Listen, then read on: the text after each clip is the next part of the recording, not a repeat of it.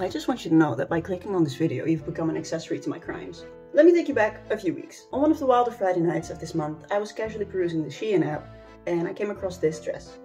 And our eyes met and we fell in love. And now I need her. But it is kind of morally iffy to buy from Shein, so I'm not gonna do that. Instead, I'm gonna steal this design and make it myself. Now, I hear what you're thinking. Isn't it just as morally iffy to steal things? My response to that is yes, it would be, if Shein hadn't already proven time and time again that they're perfectly comfortable with stealing things. So I get a free pass. Now I am going to change one thing, which is that I'm going to make it longer. That's all. I made a little sketch. I just think it looks cuter when it's longer and I don't really wear short dresses personally, so. I have two different fabrics to make this dress out of. For the top layer I have this beautiful flowery blue fabric. My grandma gave this to me a few years ago as a little gift. Uh, and it's been rotting in the back of my fabric stash ever since then. And then I also have this white fabric that I'm gonna layer underneath it just to make sure it isn't see-through. Um, this was 12 euros, so the total cost of this dress will be that. Which is more expensive than it was on and it will take a lot more time, but you know. You can't put a price on being allowed to sit on your moral high horse and go, actually, One challenge of this project is that I am going on vacation in three weeks and I really want to wear the dress there. But three weeks is a lot of time to sew a dress, right? But I only have the weekends, so I have six days. I'm away the last weekend, so I only have four days. And I kind of already wasted half of this day by sleeping in, so I have three and a half days. And I'm not a very experienced seamstress. I've made dresses before that looked really miserable and didn't fit well, but I've never made a proper dress before, and I really want this dress to fit well. So Pray for me, I don't know. And if it doesn't work out, I'll just not post this video and you'll never know. I really want to cut my fabric on the ground, but the ground is dirty because my dog is shedding, so I have to vacuum first.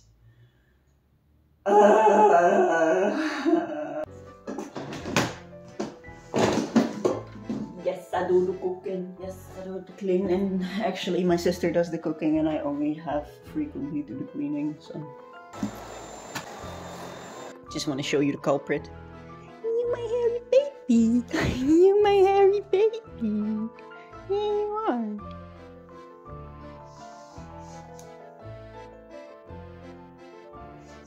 So I'm editing the video and I realized that I've been a silly little goose. Yeah, you silly goose. You're so silly. Because I never actually showed you what piece of the dress I'm working on, which is pretty important information. So here's a general pattern that I drew and the circle piece is the one that I'm working on at this point in the video. As you can see I'm layering both fabrics on top of each other because at some point I heard a professional say measure once, cut twice and I really try to live by that.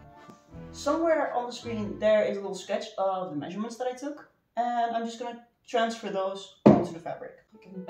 Pen.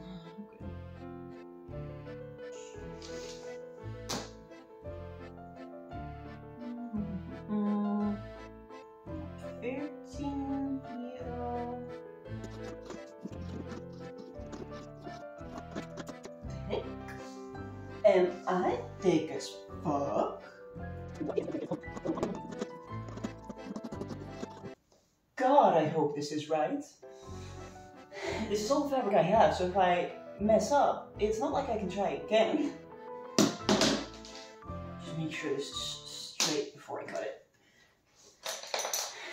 Maybe just lost lovers we get and rediscovered. I didn't get many you third, but when we were dinosaurs. I wanna stay with this life and the next one. I think we already married somewhere on another planet.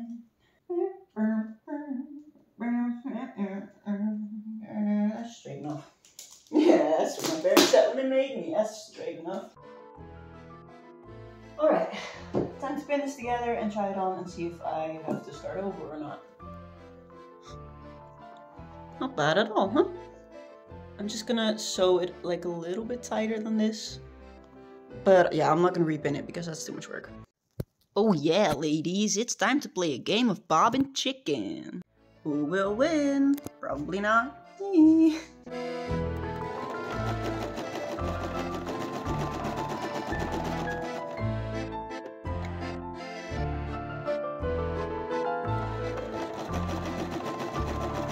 Okay, so it's been sewn. I'm just gonna try it on again. Okay, so the body part fits really well, but I have to make this a little tighter. It's gonna be so cute though. so I kind of estimated where the curve of my body is wrong. Um, because I measured this point, this point, and this point, but I connected these two wrong. So I'm just gonna take away this curve here because I have a little bit of hip dip. So I should have taken that into account. We have a dress. I mean, we have the bottom of a dress, which is all I was hoping to achieve today anyway. So I am going to sit on my little lazy butt and do absolutely nothing. And tomorrow I'm going to work on the top. Tomorrow.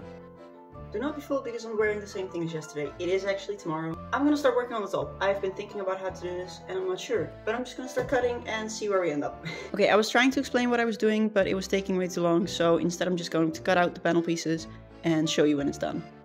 Okay, so I ended up having to make a little mock-up to help me figure it out, but I think I did it. Um, this is the back panel, this is the front panel with space for ruffling. As you can see, there are two different panels. Um, I didn't have enough space on my fabric left to make it one panel, so it's just gonna have a seam down the center, but I don't think that will matter at all because, uh, again, there'll be ruffles there, so no one will see. I'm just gonna pin it together and try it on. I don't think that's bad at all. I'm gonna make some straps and then attach the upper edge and ruffle, all that jazz. Um, wow, thoughts are really hard today. Matter of fact, thoughts were so hard today that I didn't record any of the strap making, so I'm just gonna explain it through the magic of doodles. Grab a strip of fabric, fold it along the dotted line, sew close at the open edges, uh, fold it inside out, and then you should have a tunnel which you can feed a little elastic through. While stretching it out, you want to sew it together with a zigzag stitch and then when it snaps back, it looks like this. For the top, I separated the two layers and I'm just going to close them along the edges.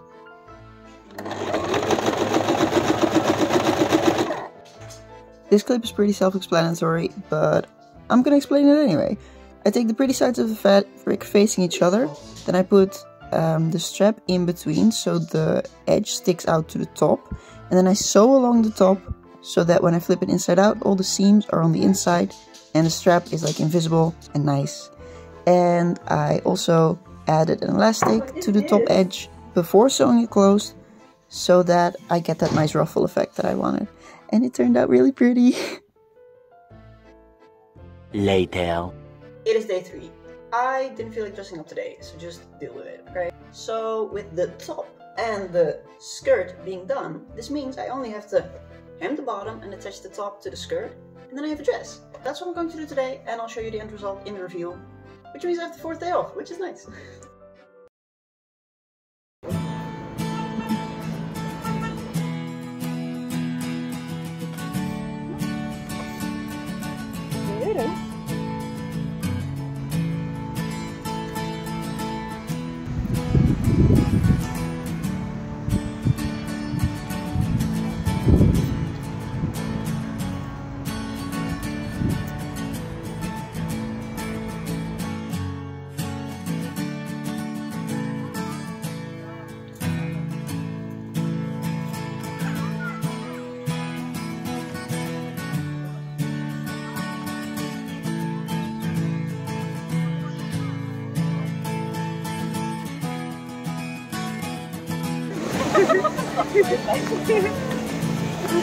Okay, let's all jump shout Yes. Oké. 3, 2, 1. Blijf wel.